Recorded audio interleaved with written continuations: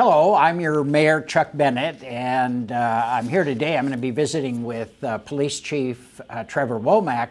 Uh, before we get started, uh, I want to remind you that the budget season is underway at City Hall, and certainly one of the areas that I think will be of interest to a lot of our residents is how the new chief sees his department, and uh, it you hear a lot about it during the budget season, so I'll be looking forward to uh, talking with him about that. Chief. Good morning. Good morning. Uh, let's start though with uh, kind of one of the newsier parts of this. It's the audit, mm. or the really audit's probably the wrong word. Uh, what what what was that report we've now received? Uh, I would refer to it as a community policing assessment. Great, great. What, you, what was your takeaways?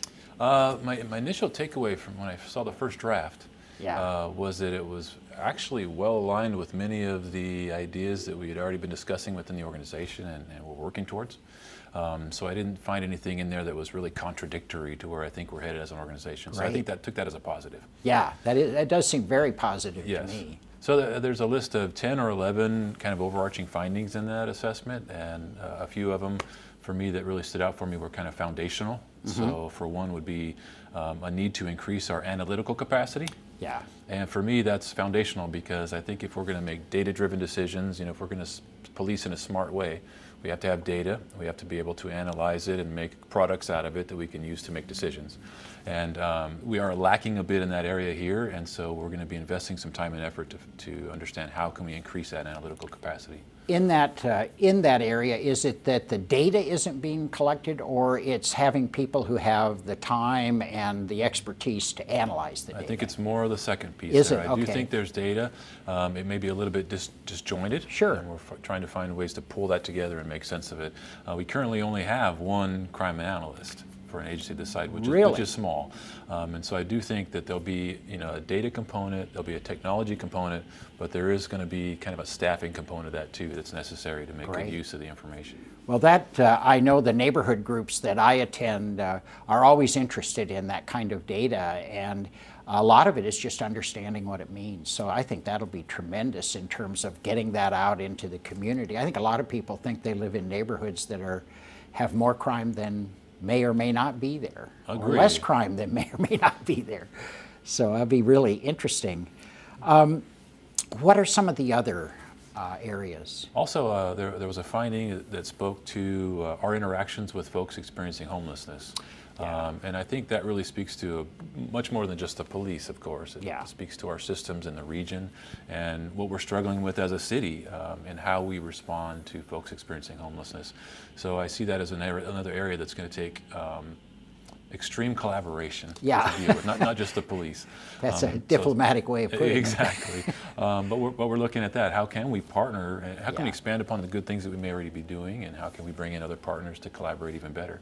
One of, uh, the, one of the suggestions most commonly heard is uh, uh, copying the Eugene model, uh, their 30-year-old CAHOOTS program. Yes. Uh, we have, what, three uh, response units, and really a fourth is coming online with uh, Northwest Human Services. It seems like we have that kind of medical or I, mental I health do, response. We do have some of that in place, and, and yeah. for me, this has always been about expanding those types okay. of services. Right? Okay. I think there's not quite enough, but we have a, a model in place now with our behavioral health unit that partners, you know, law enforcement, with county mental health services right. um, to respond to folks that may be um, experiencing crisis. Are they used and quite a bit? They are, and, uh, but I but they still are limited hours based on funding availability oh. and capacity. So I think that's an area we could expand if the funding was there. But then also this idea of CAHOOTS is much more about response without law enforcement whatsoever. Yeah. And I do think there's value there too, mm -hmm. but I think it, it can't come at the expense of some of the other things. And so right. to me, there's there's a response without law enforcement. There's a co-response with law, law enforcement, would that make sense? Oh. And then there's a law enforcement response. And I wow. think we need all those things, not one or the other. Yeah, you you know, as uh, you read the paper or watch the news, you you sort of see these, and I think it's easy to say, well, now you could have done that with the police, without the police, and but to have that standardized, I think, uh, would be really helpful uh, yes, for for everyone involved. Agree. Yeah, that's good to hear. What are some other changes you see? I, one of the I'll tell you, a takeaway for me, and uh, I get sometimes criticized and sometimes lauded for it, is you're 61 officers short.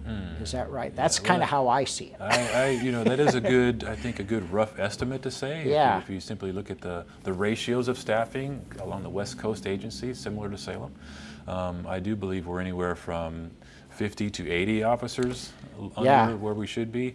And so we're, we're bringing in some more resources to help us understand that better. So we're going to do a deeper dive and assessment of staffing Great. to try to really understand what is the right number for Salem.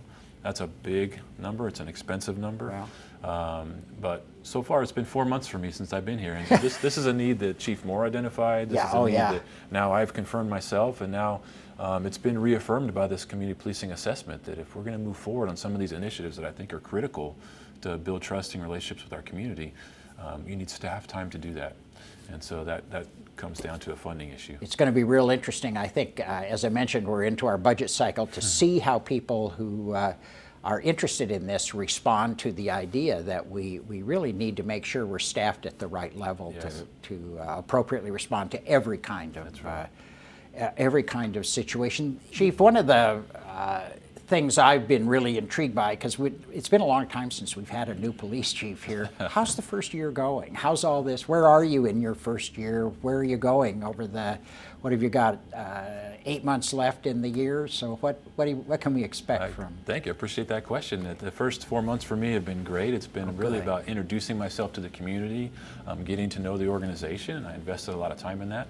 Uh, but now we have transitioned into kind of the second phase of my first year, which is much more of a deep dive into the organization, assessing some key areas like recruiting, hiring, and training, um, budget and staffing, analytical capacity. So we're in that phase right now, and I think the results of that assessment process are going to feed right into a strategic plan development phase for the second half of this year. And I think at the end of that process, what's going to happen is there'll be a very clear vision for the organization moving forward, and it will wrap in um, all these things that we need to accomplish, for example, through the community policing assessment into the strategic planning. Great. Well, that's been the way we've been uh, kind of uh, rolling here in Salem has been strategic plans, and I think having a uh, a new and uh, re- revitalized strategic plan for the police will be uh, of tremendous interest in the community. So thank you very much, and uh, thank you for joining us. I, I really hope you've enjoyed hearing from the police chief. Uh, he's very available to talk with. Uh, if you'd like to get in touch with him, uh, you can reach him through the police department. We'll have a link here for you to take a look at. And thanks again for joining us.